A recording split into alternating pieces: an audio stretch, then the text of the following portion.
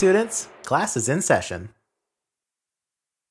Hello, students! Welcome back to Clever Fox Academy. I'm Professor Vulpes, and today's lesson subject is science. Do you all like spicy foods? I don't know about you, but I never turn down a buffalo wing. However, there's only so much spice I can handle before I chicken out. Yet, there are lots of people out there that like to eat the hottest substances on the planet, whether it be for medical reasons, possible internet fame, or just because they enjoy it. But some of these peppers can get ridiculously spicy. We've all seen the videos on YouTube of random thrill seekers boldly sampling the notorious ghost pepper and then immediately regretting it. Oh, f that.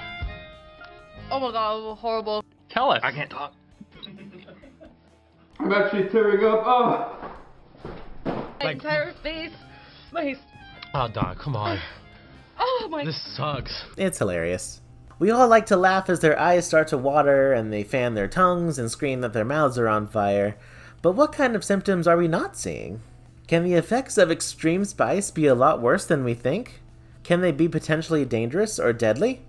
Well, that's what we're going to find out today. Here are your key terms for today's lesson. Chili pepper, the fruit of plants from the genus Capsicum. Capsaicin, the active component in chili peppers that give the pepper its spice.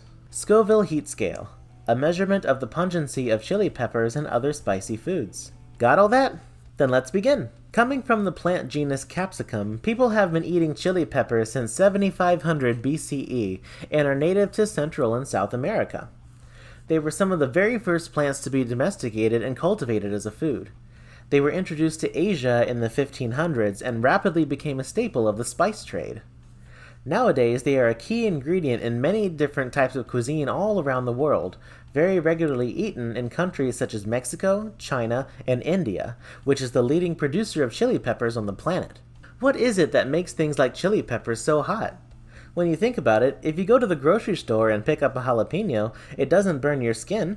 So what gives? Well, what gives a pepper its spice is actually a chemical in the pepper called 8-methyl-N-vanillyl-6-nonenamide, but for simplicity's sake, we'll call it by its common name, capsaicin. A pepper's spice level is determined by measuring the concentration of capsaicin and is ranked on something called the Scoville heat scale. The heat scale was created in 1912 by a man named Wilbur Scoville, who would test a pepper spice by grinding them up, mixing them into sugar water, and having people taste them.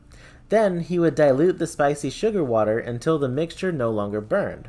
Once the pepper is tested, it is given a certain number of Scoville heat units. For example, regular bell peppers have no capsaicin in them, therefore rank a zero on the scale, while more well-known peppers like the habanero can clock in at around 325,000 Scoville heat units. The pepper to currently hold the official record of the hottest pepper in the world is called the Carolina Reaper, and can average at 1.6 million heat units, topping the scale at 2.2 million.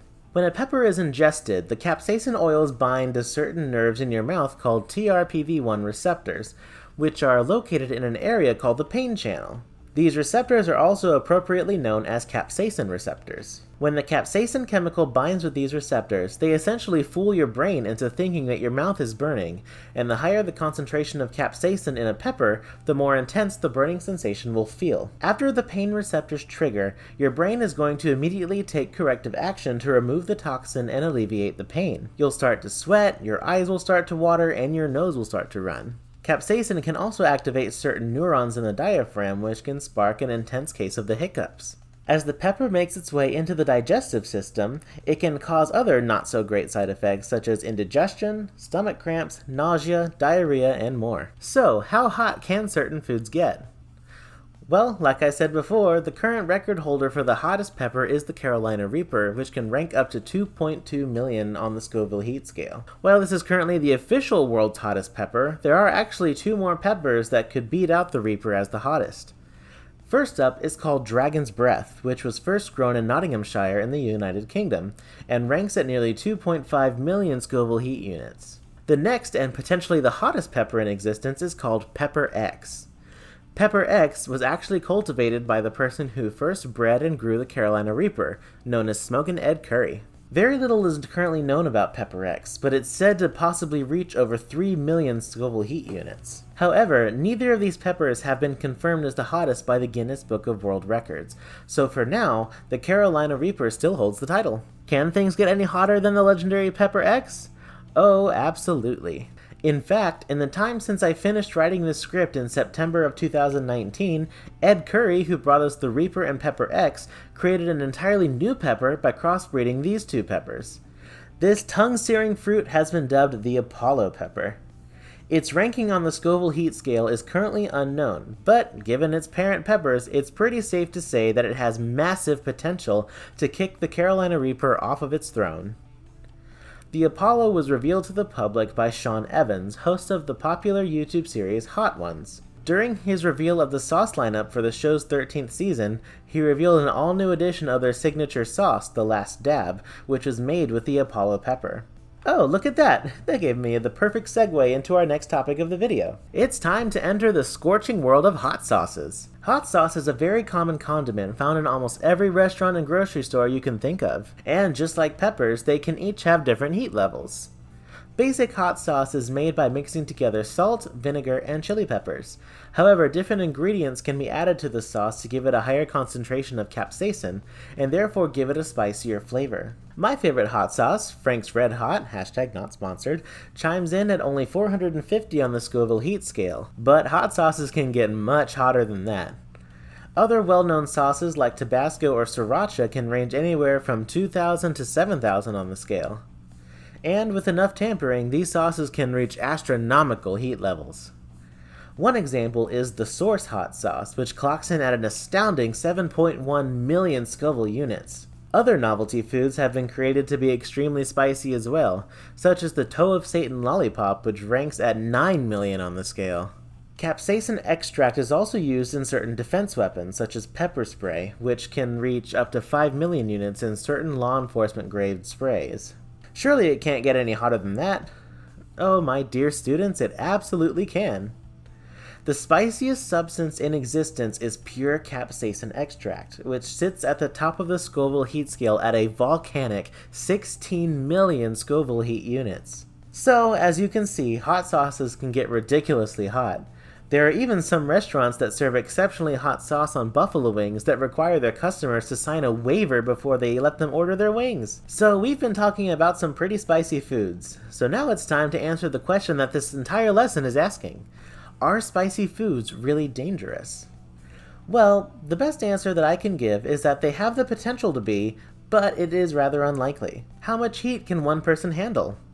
Well, there's really no set answer to that. Different people have different spice tolerances, and it can depend on a number of factors, from genetics to frequent spice consumption. However, the hotter the peppers are, the more intense the symptoms that were listed earlier in this video will be. Depending on the level of capsaicin in the pepper consumed, the symptoms can last for a long time, with some lasting up to 18 hours after eating the pepper. Once a pepper ranks beyond 1 million on the heat scale, they are classified as super hot chili peppers, and yes, that is the actual classification. These are the peppers that can produce the most severe effects. While rare, extremely hot peppers can cause temporary but severe and unusual medical problems. One man was hospitalized with sporadic and intense headaches after eating a Carolina Reaper. Doctors found that the arteries in his brain were very constricted, causing the painful headaches. Another hot pepper story, this time a ghost pepper, came out of San Francisco, where a man who had eaten one of the peppers ended up tearing a hole in his esophagus after the pepper caused him to severely vomit. All of these after effects of peppers sound pretty terrible. So, how do you make them stop if you've eaten a spicy pepper? Well, the best remedy, honestly, is to just wait it out until the capsaicin works through your system. However, you can help temporarily alleviate some of the pain by drinking milk. Milk and other dairy products have a protein in them called casein. Casein helps neutralize the burning effect capsaicin has in your mouth. This is why it's common for restaurants to serve their buffalo wings with ranch or blue cheese dressing. Of course, that's just one of many different ways that you can counteract intense spice. MatPat from Game Theory actually released a video on his channel, The Food Theorist, that really broke down how capsaicin affects your body and the best ways to combat the heat. I'll put a link in the description amongst the sources used in this video. I highly recommend giving it a look. This leads to one final burning question, pun intended. Can spicy peppers kill you? Well, the simplest answer is yes, they can. However, the good news is that it would take a whole lot of peppers to have a lethal effect on a person. According to some studies, a fatal dose of capsaicin is 100 milligrams per 1 kilogram of body weight. So, for an averagely weighted adult, it would require well over 30 Carolina Reapers to prove deadly. So, fortunately, it's very unlikely for a fully grown adult to die from eating peppers. However, capsaicin can still have a lethal effect on young children, as made clear by an unfortunate event in 2001 where an 8 month old child suffered a heart attack and died due to capsaicin poisoning after being given chili powder as a form of traditional medicine. All of that sounds pretty scary, so why even bother with capsaicin in the first place? Well, believe it or not, capsaicin also provides a number of health benefits. Chili peppers, along with capsaicin, are very rich in vitamins A and C, which can help boost your immune system. Capsaicin can also boost metabolism and promote weight loss. It's even said that chili peppers can also lower cholesterol and even possibly lower the risk of heart attack and stroke. Capsaicin is also used in several topical pain medications. These medicines can provide pain relief from several different afflictions including arthritis, psoriasis, joint pains, shingles, and more though it can come with some small side effects, including, of course, a slight burning sensation. So, what is the final consensus of spicy peppers? Are they good or bad for you? Well, at the end of the day, they pose no persistent danger to us. As long as you're aware of the side effects and prepare accordingly, spicy peppers shouldn't cause any lasting effects. So go ahead and eat that ghost pepper. Rank up those views on YouTube. Just be sure to exercise the proper precautions when doing so and maybe keep a gallon of milk nearby. Well, class, that's the end of today's lesson. Thank you all for tuning in. If you need further assistance, you can find me during my office hours. Your homework is to like this video, leave a comment, subscribe to the channel, and share your notes with all your friends. And above all, learn something new every day. Have a great day, students. Until next time, class dismissed.